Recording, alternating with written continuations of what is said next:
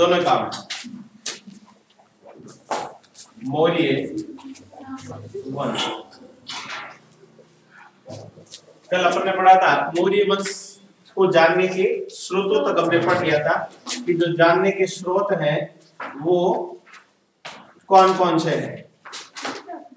तो अपन ने पढ़ा था कथा सरित सागर जो सोमदेव द्वारा रचित है। मैगस्नीस की इंडिका पढ़ी थी। कौटिल्य की, अर्थशास्त्र पढ़ी थी और पतंजलि का महाभाष्य पढ़ा, विष्णु पुराण पढ़ा, इनके अलावा सौराष्ट्र और महासौगोर का अभिलेख, और रुद्रदामन का जूनागढ़ अभिलेख, और अशोक के अभिलेख। इन सभी से हमें क्या मिलती है? मौर्य वंश के बारे में जानकारी प्राप्त होती है। अब मौर्य वंश की जानकारी के साथ अपन ने कार्यक्रम पढ़ा था कि 322 या 323 ईसा पूर्व से लेकर 185 या 184 ईसा पूर्व तक मौर्य वंश ने शासन किया था। फिर हमने पढ़ा था, मौर्य वंश से पहले नंद वंश था और नंद वंश का अंतिम शासक जिसका नाम था गणानंद गणानंद की चाणक्य की सहायता से चंद्रगुप्त मौर्य ने 321 लगभग हत्या कर दी और एक नवीन वंश की स्थापना कर दी और नवीन वंश था मौर्य वंश। अब हम पढ़ते हैं शासक तो शासकों में हमने कल भी पढ़ा था कि मैन प्रमुख रूप से इनके तीन शासक हुए थे। इसके बाद वाले शासकों ने लंबे समय तक शासन किया, लेकिन संयुक्त रूप से। तो पहला शासक अपन ने पढ़ा था, चंद्र, गुप्त, मौर्य। फिर हमने पढ़ा था इसके बाद में जो शासक है, वो कौन सा शासक रहेगा? बिंदु सार। और इसके बाद में जो प्रमुख शासक है, जो महान ग्रेट है, जिसका नाम है अशोक। अब इनमें सबसे पहले हम पढ़ेंगे चंद्रगुप्त को। इसको पढ़ेंगे?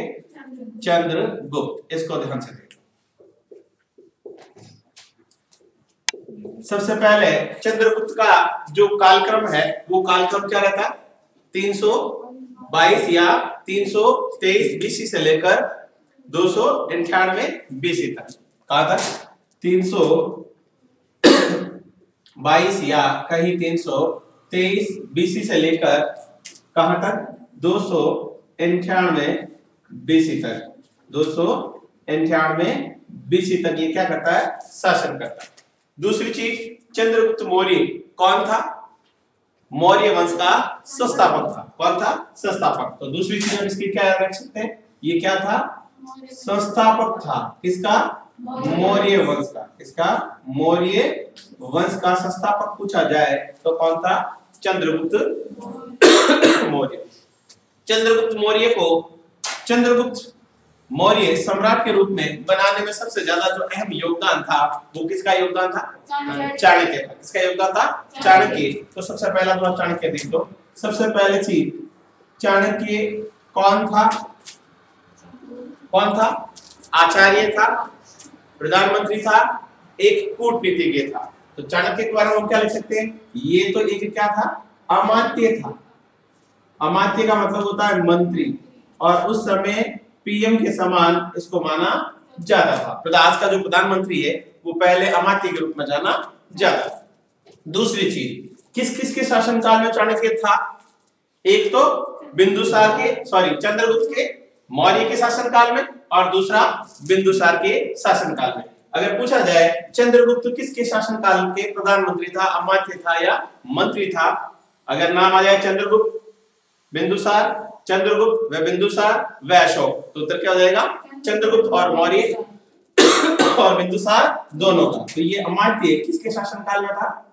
एक तो चंद्रगुप्त मौर्य के शासनकाल में और दूसरा किसके शासनकाल में? बिंदुसार के शासनकाल में। और क्या था चाणक्य लिख लेना, तेरे लिए लिख रहा हूँ, चिंता मत करो। और क्या था? ये कौन था? तक्षशिला का आचार्य था। कौन था? तक्षशिला का आचार्य। तक्षशिला का आचार्य था। अब चंद्रगुप्त मौर्य से चाणक्य का जो मेल है या किस तरह से इन दोनों का मेल हुआ या भेंट हुई, जिसके कारण चंद्रगुप्त को मौर्य सम्राट का संस्थापक बना देता है। तो इससे पहले मैं आपको प्रारंभिक जीवन बता देता हूँ। किसका? चंद्रगुप्त मौर्य का प्रारंभिक जीवन। रटना नहीं, केवल समझना। सबसे पहली चीज़ तो मुद्रा राक्षस नामक एक ग्रंथ है, जो किसने लिखा था? किसने? विशाख दत्त ने। और मुद्रा राक्षस पर भी एक टीका लिखी थी। अर्थात उसका टीका टीकाकार कौन था? ढूंढी राज क्या था? कहीं आपको ढूंढी राज भी मिलेगा कहीं आपको ढूंढी राज भी मिलेगा। तो सबसे पहले चीज़ एक इसकी जानकारी कहाँ से मिलती है? किसकी? चंद्रगुप्त मौर्य की प्रारंभिक जानकारी कहाँ से मिलती है? अगर पूछा जाए तो ग्रंथ का नाम क्या है रखना? मुद्रा राक्षस। और मुद्रा राक्षस एक और राक्षस राज था। राक्षस राज कौन था? गणानंद का अमात्य या मंत्री। इसका जो लेखक था, उसका नाम क्या था? विशाख दत्त। और अगर पूछ लिया जाए कि इसका टीकाकार कौन है तो टीकाकार कौन था? ढूंढी राज। ये कौन था इसका? टीकाकार था। इसके अलावा और कौन सा ग्रंथ है जिनसे हमें ये जानकारी मिलती है? एक ग्रंथ का नाम इसका मिलिंद पनोह। क्या नाम है? मिलिंद पनोह। इस ग्रंथ का लेखक कौन है? इस ग्रंथ का लेखक बता नागसेन। कौन था? नागसेन। मिलिंद पनोह जो ग्रंथ है, वो नागसेन ने लिखा। नागसेन ने भी चंद्रगुप्त मौर्य के बारे में बताया कि इसका प्रारंभिक जीवन कैसा था, कहाँ से प्रारंभ हुआ। सबसे पहली चीज़, कि ये कहाँ का, इसके जो पिता थे, किसके? चंद्रगुप्त मौर्य के जो पिता थे, उसके नाम के बारे में कहीं उल्लेख नहीं मिलता है, लेकिन एक उल्लेख मिलता है कि चंद्रगुप्त मौर्य का जो पिता थे, वो मौर्य एक जनपद था। जनपद जानते हैं अपने पहले पढ़ा था पीछे। सोले महाजनपद। महाजनपद बड़े थे, उनसे जो छोटे थे, वो क्या कहलाते जनपद कहलाते तो कहाँ का जनपद थे? मौर्य। जगह का नाम क्या था? मौर्य जनपद का प्रधान था। इसलिए कुछ विद्वान इस मौर्य को क्या मान लेते? जाति मान लेते। क्या मान लेते? जाति। इसीलिए इस मौर्य जनपद का प्रधान होने के कारण ही मौर्यों को क्या माना गया? मौर्य वंश का शासक माना गया। मौर्य जनपद में शासन करने के कारण क्या कहलाए? मौर्य कहलाए। और विद्वान क्या कहते? अशोक का एक अभिलेख है, जिसका नाम है लोरिया नंदनगढ़ लोरिया नंदनगढ़ अभिलेख है। उस अभिलेख में सबसे नीचे जो चित्र बना हुआ है, वो मयूर का चित्र बना हुआ किसका चित्र बना हुआ है?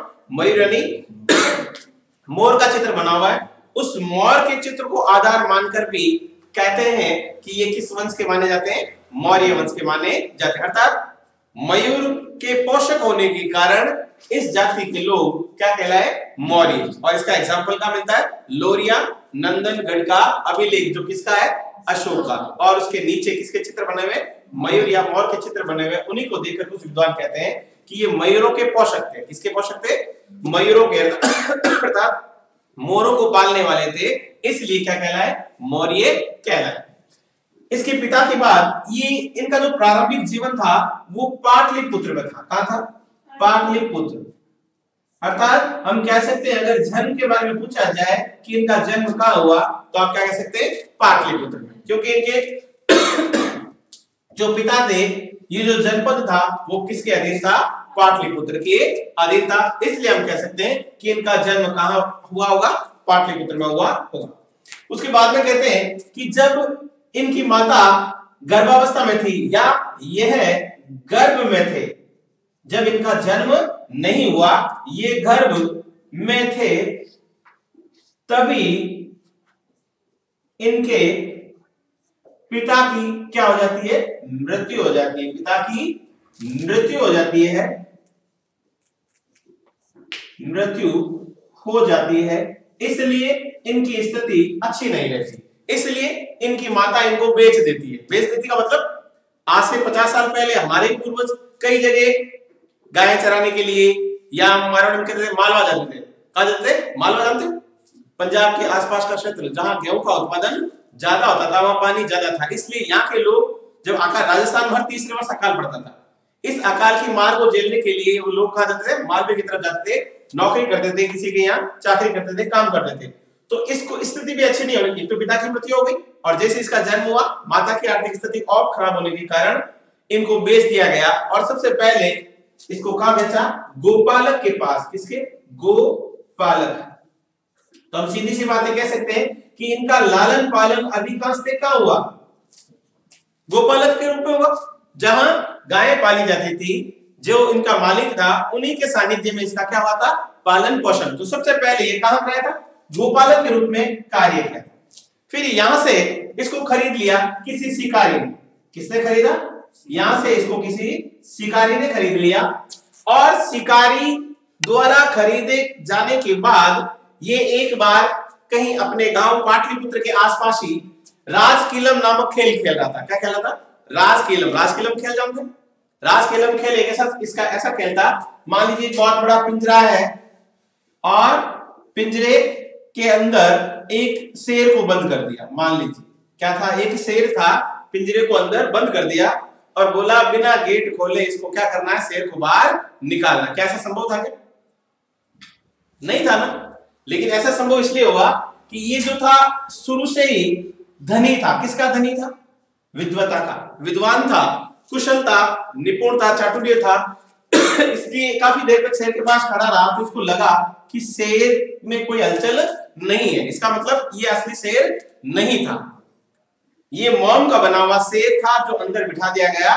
तो इसने तिल्ली से आग लगा दी और शेर क्या हो गया? वहाँ का वही जल गया। इस विद्वता को जब चाणक्य अपनी आचार्य, जो चाणक्य आचार्य थे, काके तक्षशिला के, वो रोज भ्रमण के दौरान जाते थे और भ्रमण के दौरान उन्होंने इस घटना को, चंद्रगुप्त मौर्य को राजकीलम नामक खेल खेल का नाम क्या था? राज कीलम एक खेल का नाम है। अगर आज है राज राजकीलम क्या है? तो राजकीलम क्या है? एक खेल है, जिसका संबंध किससे था? चंद्रगुप्त मौर्य से था। तो ये देखकर चाणक्य किससे? चंद्रगुप्त मौर्य से प्रभावित हुए और इस शिकारी से इसे खरीद लिया। खरीद लिया प्रश्न नहीं आता, प्रश्न आता है कि कितने कारसार्पण में खरीदा? या कारसार्पण क्या है? गोपालक था, गोपालक से किसने खरीद लिया? शिकारी ने खरीद लिया। और शिकारी से, फिर किसने खरीदा? चाणक्य ने। प्रश्न ये नहीं आता, प्रश्न आता है कि कितने? तो एक हज़ार, कितनी? एक हज़ार। एक हज़ार क्या थी? कारसापण। प्रश्न आता है, कारसापण क्या है? प्रश्न क्या आता है? कारसापण क्या है? चांदी की मुद्रा है। कारसापण क्या है? चांदी की मुद्रा। तो इसको याद रखना, चांदी की मुद्रा। सबसे पहली चीज़ प्रश्न आता है, यहाँ तक कि चंद्रगुप्त मौर्य का कालक्रम क्या था? तो कालक्रम क्या रहेगा? 322 या 323 बीसी से लेकर दो सौ अंठानवे बीसी तक। फिर प्रश्न आता है, चंद्रगुप्त मौर्य क्या था? संस्थापक था। किस वंश का संस्थापक था? मौर्य वंश का। फिर आता है इसकी स्थापना। की स्थापना की कैसे की? तो स्थापना कैसे की? किसकी हत्या करके? गणानंद तो किस वंश का? नंद वंश का, किस वंश का? नंद वंश का अंतिम शासक, जिसका नाम क्या था? गणानंद क्या था?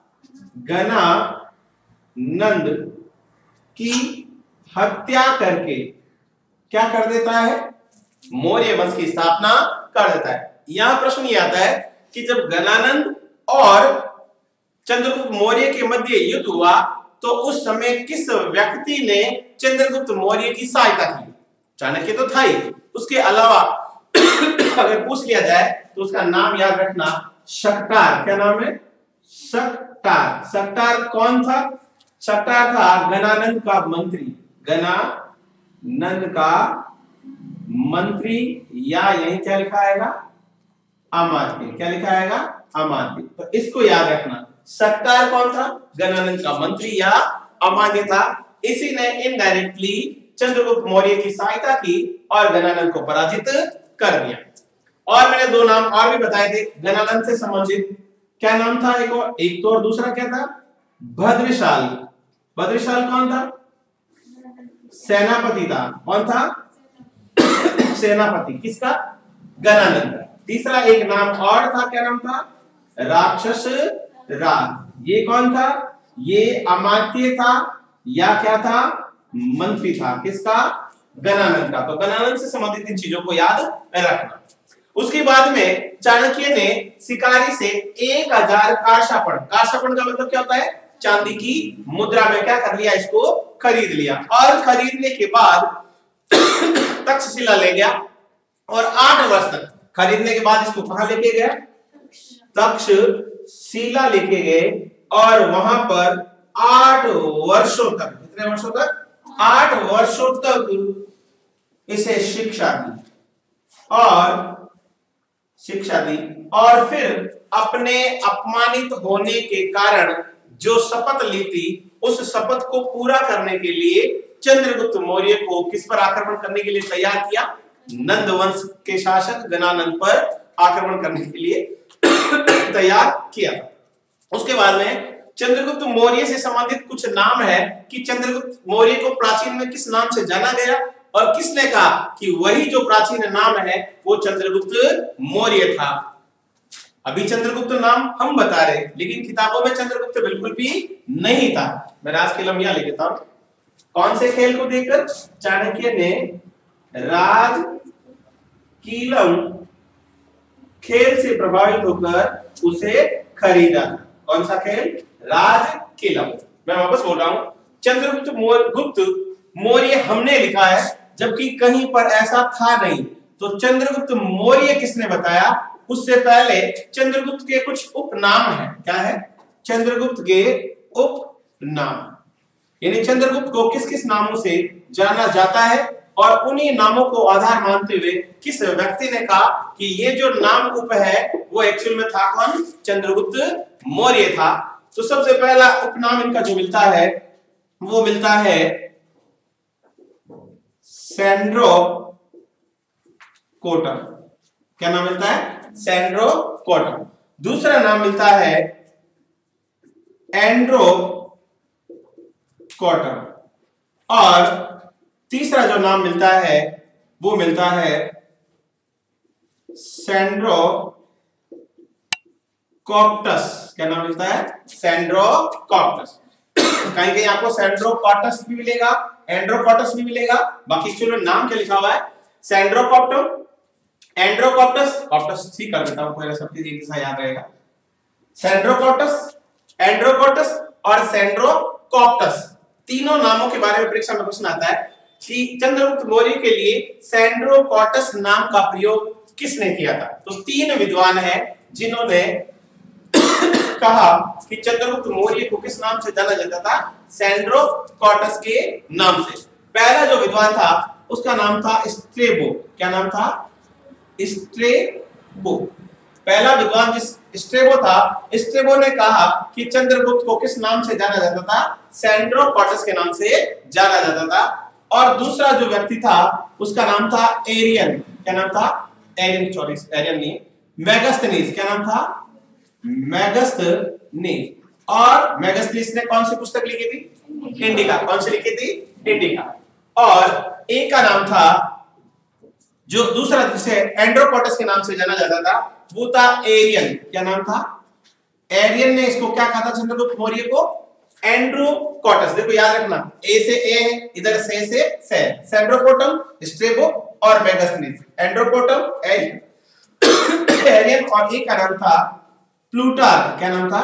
प्लूटार्क और तीसरा जो है सेंड्रोकॉप्टस वो था फिलार्कस क्या नाम था?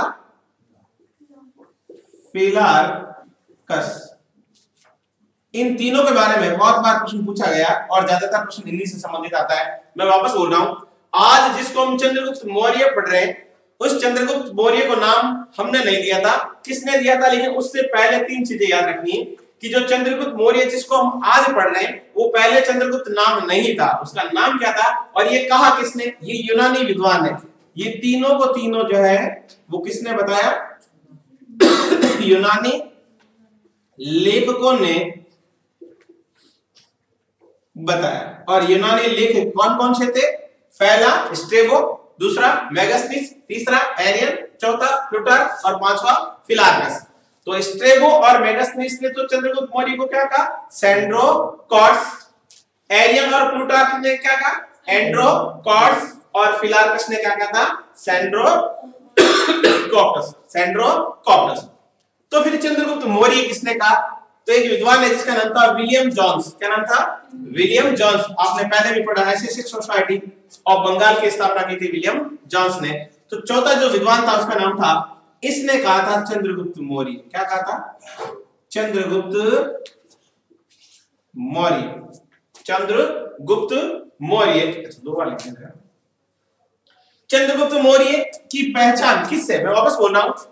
सेंड्रोकोटस एंड्रोकोटस व सेंड्रोकोटस की पहचान चंद्रगुप्त मौर्य के रूप में की थी। अगर ऐसा आ जाए तो किसने की थी? William Jones. क्या नाम था? विलियम जॉन प्रश्न वापस बोल रहा हूँ। सेंड्रोकोटस एंड्रोकोटस और सेंड्रोकोटस की पहचान चंद्रगुप्त मौर्य के रूप में किसने की? तो उसका नाम क्या रहेगा? William Jones. क्या रहेगा? William Jones. और विलियम जॉन्स ने कब की थी? तो वो भी याद रखना। सत्रह सौ तिरानवे ईस्वी में विलियम जॉन्स ने कहा कि जिसको आप सेंड्रोकोट समझ रहे हो, जिसको आप एंड्रोकोट समझ रहे हो, जिसको आप सेंड्रोकॉपस समझ रहे हो, वो एक्चुअल में था कौन? चंद्रगुप्त मौर्य था। तो सत्रह के बाद इन नामों की जगह हमने कौन सा नाम प्रारंभ कर दिया? चंद्रगुप्त मौर्य। और आज हम इतिहास में चंद्रगुप्त मौर्य को मौर्य वंश के संस्थापक के रूप में जानते हैं। इसके बाद में है कि चंद्रगुप्त मौर्य की माता का नाम क्या था? सही जगह नहीं मिलता है, लेकिन कुछ जगह मिलता है कि इनकी जो माता थी, उनकी माता का नाम था मुर्रा। क्या नाम था? मुर्रा। मुर्रा एक्चुअली में थी कौन? एक दासी थी। कौन थी? दासी, जिसे उस व्यक्ति से प्रेम हो गया और उसकी जो नाजायज संतान थी, उसका नाम था चंद्रगुप्त मौर्य। अर्थात ये थी कौन? एक दासी थी। कौन थी? दासी। और इसी दासी से इसका जन्म हुआ ऐसा माना जाता है। तो माता का नाम रह जाएगा मुर्रा। पिता के नाम के बारे में जानकारी नहीं है, लेकिन ये फाइनली है कि वो गणानंद के शासनकाल में रहा होगा, क्योंकि गणानंद की हत्या करने के बाद ही अगला वंश कौन सा आया था? मौर्य वंश। उसके बाद में है कि चंद्रगुप्त मौर्य ने कौन कौन से विजय अभियान किए और उन विजय अभियानों के दौरान चंद्रगुप्त को किस किस नाम से जाना जाता है? ये तो है उपनाम। इसके अलावा हम चंद्रगुप्त को और किस नाम से जानते हैं तो अन्य चीज़ों में क्या ध्यान रखना है? ध्यान से सुनना। अगर प्रश्न आ जाए, भारत का प्रथम एशिया शासक कौन था? भारत का प्रथम ऐतिहासिक शासक कौन था? तो भी उत्तर क्या रहेगा? चंद्रगुप्त मौर्य। अगर प्रश्न आ जाएगा, भारत का प्रथम मुक्तिदाता शासक किसे माना जाएगा? तो भी किसे माना जाएगा? क्यों माना जाएगा? पहला तो मैंने क्या कहा था? पहला इसको क्या जाना जाता है? भारत का प्रथम ऐतिहासिक शासक के नाम से किसे जाना जाता है? चंद्रगुप्त मौर्य को। दूसरा क्या जाना जाता है? भारत का प्रथम मुक्तिदाता मुक्तिदाता शासक के रूप में किसे जाना जाता है? चंद्रगुप्त मौर्य को क्यों कहा जाता है? ध्यान से सुनना। हमने पीछे पढ़ा था कि 323 326 से 25 बीसी ईस्वी में भारत में कौन आया था? सिकंदर आया था। कौन आया था? कुछ जगह लिखा हुआ पौरस ने जीता, कुछ जगह लिखा हुआ चंद्रगुप्त मौर्य ने जीता। अलग अलग इतिहासकारों की अलग अलग राय है। लेकिन ये चीज़ चंद्रगुप्त मौर्य के समय से पता लगता है कि पौरस पराजित हुआ और सिकंदर जीता। कैसे पता चलता है? कि सिकंदर ने जब भारत पर 326 और 25 बीसी में आक्रमण किया था, उस समय भारत के पंजाब और सिंध के आसपास के क्षेत्रों पर। कहाँ पर? एक तो पंजाब पर और दूसरा सिंध के आसपास के क्षेत्रों पर विजय प्राप्त कर ली और इन क्षेत्रों में अपने शत्रप नियुक्त किए। शत्रप किसे कहते हैं? आज का गवर्नर छत्रप किसे कहते हैं गवर्नर जिसको हम कहते हैं राज्यपाल। क्या कहते हैं? राज्यपाल। सिकंदर ने पंजाब और सिंध के आसपास के क्षेत्रों को जीतकर वहाँ पर क्या नियुक्त कर दिए? सत्रप नियुक्त कर दिए। अर्थात भारत का ये क्षेत्र गुलामी में जकड़ गया था। अब चंद्रगुप्त मौर्य ने इन सत्रपों को पराजित किया और भारत से विदेशियों को मुक्त किया। अर्थात इनको पराजित करके इनको यहाँ से भगा दिया। इसलिए क्या कहा जाता है? भारत का प्रथम मुक्तिदाता शासक के नाम से जाना जाता है। इसके अलावा और क्या जाना जाता है? इसके अलावा इसके अलावा चंद्रगुप्त जो मौर्य थे, ये वास्तव में शासक था और भारत का प्रथम ऐतिहासिक शासक था या नहीं था, इसकी जानकारी किससे मिलती? और अगर एक प्रश्न और पूछ लिया जाए, अगर आपसे कि भारत की प्रथम अंतरराष्ट्रीय संधि किस राजा के शासनकाल में हुई? तो अभी कौन सी रहेगी? बता सकते हो कैसे रहेगी? सेल्यूकस के साथ 305 ईस्वी में जो युद्ध हुआ था और उस युद्ध दो साल चलने के बाद 303 ईसा पूर्व में सेल्यूकस, निकेटर और चंद्रगुप्त मौर्य के मध्य जो संधि हुई थी, वो विश्व की पहली अंतरराष्ट्रीय संधि थी। तो भारत की पहली अंतरराष्ट्रीय संधि किसके शासनकाल में हुई थी? चंद्रगुप्त मौर्य के शासनकाल में। और इसका एक प्रश्न आता है, भारत का प्रथम अंतरराष्ट्रीय राजदूत आने वाला पहला व्यक्ति किसके शासनकाल में आया? तो भी कौन सा रहेगा? चंद्रगुप्त मौर्य। यानी भारत में कोई राजदूत के रूप में अगर कोई व्यक्ति आया तो वो किसके शासनकाल में आया? चंद्रगुप्त मौर्य के शासनकाल में। और कौन आया था? मैगस्नीज मैगस्नीज कहाँ का राजदूत बनकर आया? अराकोशिया। कहाँ का? अराकोशिया, जो कंधार था। कहाँ का?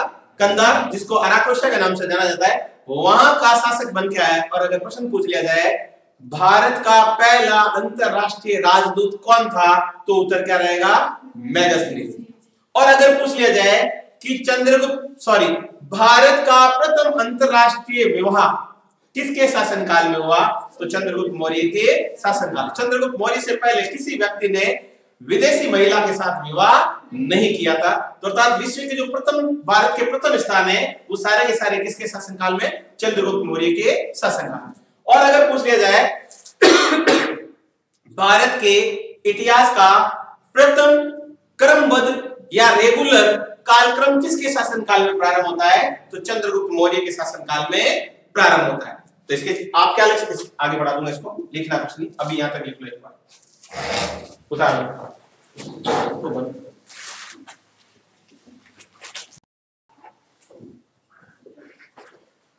अब है चंद्रगुप्त मौर्य के विजय अभियान।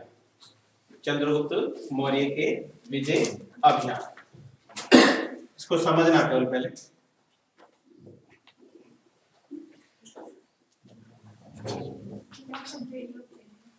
जैसे ही चंद्रगुप्त मौर्य को किसने खरीदा? चाणक्य ने।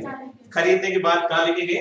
तक्षशिला। और कितने वर्षों तक? आठ वर्षों तक पूर्ण रूप से इसको शिक्षा दी। और शिक्षा देने के बाद अपने अभिमान, अपमान में जलते हुए चाणक्य द्वारा कहने के बाद चंद्रगुप्त मौर्य ने अपनी छोटी सी सैनिक टुकड़ी को लेकर किस पर आक्रमण करता है? मगध पर। किस पर आक्रमण करता है? क्योंकि मगध पर आक्रमण करने के लिए ही इसे शिक्षित करके सैनिक के रूप में तैयार किया। तो पहला विजय अभियान रहेगा मगध पर आक्रमण। लेकिन आपको पता, मैंने आपको पहले बताया कि जो गणानंद था, वो अत्यधिक अतुल धन संपत्ति का धनी था। धन की कोई कमी नहीं थी, इसलिए उसने अपने पास बहुत ज़्यादा सैनिक पाल रखे थे। सैनिकों की संख्या गणानंद के पास क्या थी? अधिक थी। तो क्या अधिक थी? सेना। किसके पास? गणानंद सैनिक अधिक थे। इसलिए जब चंद्रगुप्त मौर्य ने आक्रमण किया, चंद्रगुप्त मौर्य ने क्या किया था? आक्रमण किया। उस आक्रमण में वो क्या रहा? असफल असफल रहा तो पहला जो आक्रमण था, वो असफल रहा असफल क्यों रहा? उसके दो कारण थे। पहला कारण तो क्या था? गणानंद के पास सैनिकों की संख्या ज़्यादा होने के कारण और दूसरा, उल्टा उनका है कि चंद्रगुप्त मौर्य के पास सेना कम थी। इसलिए वो क्या हो गया? पराजित दूसरा और क्या कारण था? दूसरा असफल होने का कारण क्या था? कि इसके पास और क्या था? एक क्या था? भद्रशाल, जैसा सेनापति था, जिसके कारण भी तो पहला ये और दूसरा ये। भद्रसाल जैसा अत्यधिक निपुण योद्धा सेनापति होने के कारण चंद्रगुप्त मौर्य को असफल होना पड़ा और दूसरा सैनिकों की संख्या ज़्यादा होने के कारण असफल होना पड़ा। जैसे ये असफल रहा तो यहाँ से भाग निकले। कौन? कौन भागे चंद्रगुप्त। मौर्य। बहुत संक्षिप्त में लिख रहा हूँ। चंद्रगुप्त, मौर्य और साथ में कौन? चाणक्य। और कहते हैं कि यह भाग कर कहा चले गए? रात्रि में पंजाब तक पहुँच गए। कहाँ तक पहुँच गए? पंजाब में पहुँचे। और पंजाब में किसी के किसी के घर पर रात्रि शरण ली। क्या ली? रात्रि शरण ली। उस रात्रि शरण के दौरान एक माँ अपने पुत्र से कहती है, पुत्र, क्या करता है? इस जहाँ पर शरण ली, वहीं पर। इस घर में जो पुत्र था, वो पुत्र रोटी खा रहा था। क्या खा रहा था? रोटी खा रहा था, लेकिन कैसे खा रहा था? वो रोटी जैसे ही गरम गरम रोटी आप देखते हो ना, एकदम कचौरी की तरह फूल जाती है। फूलती है ना? और जैसे ही कई बार कभी अंगुली वगैरह बीच में चली जाती है तो आप सोच लो, क्या उसको खाने लायक रहती है क्या? नहीं रहती, क्योंकि हाथ जल जाता है। तो वो जो पुत्र था, वो रोटी खा रहा था, लेकिन कैसे खा रहा था? रोटी को बीच में से, बीच में से तोड़कर खा रहा था। कैसे खा रहा था? बीच में से तोड़कर खाने की कोशिश कर रहा था। खाने की कोशिश कर रहा था। लेकिन वो लेकिन वो खा नहीं पा रहा था। लेकिन वो खा नहीं पा रहा था। क्यों नहीं खा पा रहा था? क्योंकि रोटी गर्म थी, बीच में से गर्म थी। अगर साइड से तोड़ता तो वो क्या हो जाती? भाप बाहर निकल जाती और थोड़ी देर में रोटी ठंडी हो जाती, वो आराम से खा सकता था।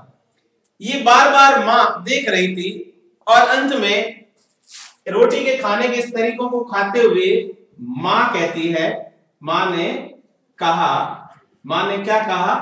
माँ ने कहा कि जिस तरह जिस तरह कौन? चंद्रगुप्त मौर्य। कौन? चंद्र गुप्त मौर्य। मगध पर। किस पर? मगध पर सीधा आक्रमण करने की करने की भूल कर रहा है। उन्हें पता नहीं था कि यही चंद्रगुप्त मौर्य है। भूल कर रहा था। उसी तरह उसी तरह तुम भी भूल कर रहे हो। अर्थात अब तुम रोटी को किनारे से तोड़ो और खाओ। थोड़ी देर में ठंडी हो जाएगी, आराम से खा लोगे। ये बात सुनकर चंद्रगुप्त मौर्य के दिमाग में भी आया कि मुझे, मेरे पास सेना क्या है? कम है। ज़्यादा मेरे पास सेना है नहीं। गणानंद के पास है ना अधिक है। मैं अगर सीधा आक्रमण करता हूँ तो सीधा पराजित हो जाऊँगा, मारा जाऊँगा, कभी भी सफल नहीं होऊँगा। इससे अच्छा मैं क्या करूँ कि मगध के आसपास के जो छोटे छोटे क्षेत्र, जो मगध के नियंत्रण में है पहले मैं उनको जीतूं और उसके बाद में जीत कर एक नवीन सेना का संगठन करूँ, बहुत सारे मित्रों को बना लूँ और मित्र बन जाएँगे, सैनिकों की संख्या ज़्यादा होगी, तब मैं सीधा मगध पर आक्रमण करूँगा और गणानंद को पराजित कर दूँगा। इसके बाद मगध पर पहला आक्रमण तो क्या रह जाता है? असफल रह जाता है। और फिर दूसरा आक्रमण जो करता है, वो करता है पंजाब पर। किस पर करता है? पंजाब व सिंध पर। किस पर?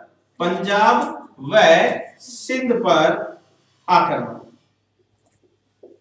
अब ध्यान से सुनना। मैंने पहले पीछे लिखा है कि इसको किस नाम से जाना जाता है? भारत का प्रथम मुक्तिदाता के नाम से जाना जाता है। क्यों जाना जाता है? यहाँ पर सिंधु नदी के आसपास झेलम नदी के आसपास के क्षेत्रों पर किसका अधिकार था? सिकंदर का। यानी इन क्षेत्रों पर कब? 326 या 25 बीसी में सिकंदर क्या करता है?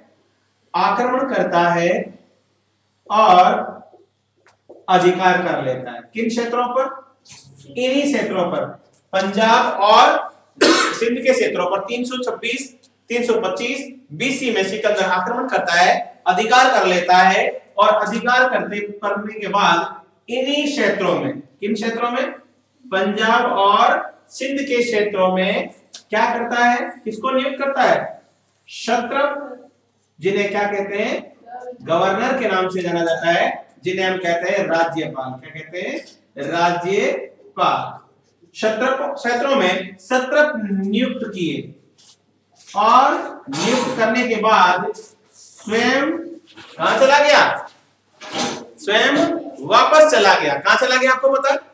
कहा गया था? मकदूनिया में तो उनका जन्म हुआ और मृत्यु कहा जाती है? बेबीलोन में। मकदूनिया वापस जाते समय बीच में बेबीलोन में उसकी क्या हो जाती है? मृत्यु हो जाती है। यहाँ पर जो ये सत्रप थे, इन्हीं सत्रपों को हराने के लिए चंद्रगुप्त मौर्य ने सबसे पहले योजना बनाई। मगध के पास का क्षेत्र था पंजाब, मगध के पास का क्षेत्र था सिंध। अर्थात इन्होंने सोचा कि मैं सीधा मगध पर आक्रमण नहीं करूँ। नहीं करने की ये कहानी थी। इसलिए सबसे पहले क्या किया? चंद्रगुप्त मौर्य ने, चंद्रगुप्त मौर्य ने इन शत्रकों को क्या कर दिया? पराजित कर दिया। क्या कर दिया? पराजित किया। कई बार पूछा जाता है, अंतिम शत्रक कौन था? डेमेकस। क्या नाम था? डेमेकस। अंतिम डेमेकस। ये था कौन? अंतिम शत्रक था। कौन था? अंतिम शत्रप इसे पराजित कर दिया। इसीलिए चंद्रगुप्त मौर्य को किस नाम से जाना गया? भारत का प्रथम मुक्ति दाता पराजित किया इसलिए इसलिए चंद्रगुप्त मौर्य को भारत का प्रथम मुक्ति दाता के नाम से जाना जाता है। के नाम से जाना जाता है। उतार लेते हैं ठीक है वैसे पूरा तो होगा नहीं। इसको बंद कर सर भी आ गया।